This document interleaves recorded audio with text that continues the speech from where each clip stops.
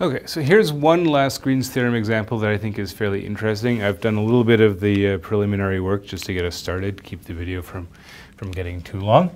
Um, all I'm doing here is taking a line segment between two arbitrary points, parameterizing it, and I'm computing this integral. So I've gotten to this point, all right?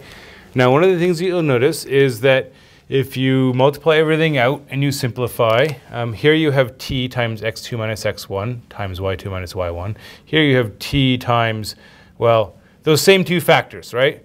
So, so this part and this part, those are going to cancel.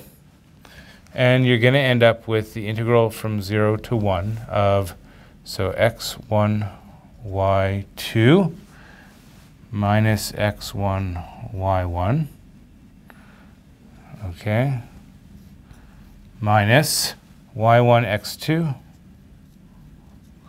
minus y1 x1 dt. And then you notice there's some, some further cancellations. And you're just left with x1, y2 minus y1, x2. Okay? Minus y1, x2. Okay? And that's true for any line segment that you like, okay?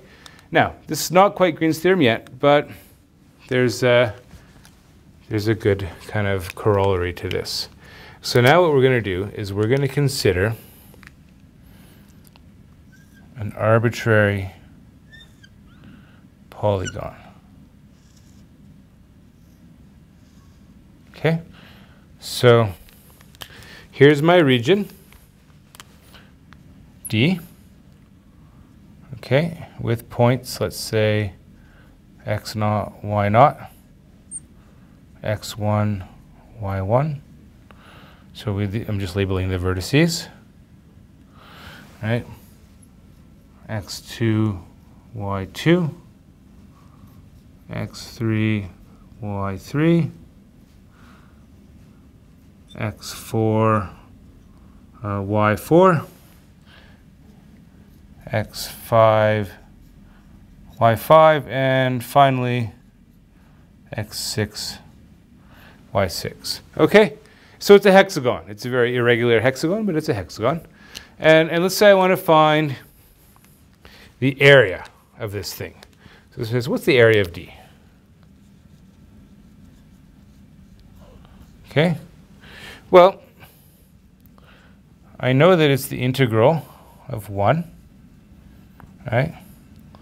But I know from Green's theorem that I could write that as 1 half times the integral over the boundary of D of x dy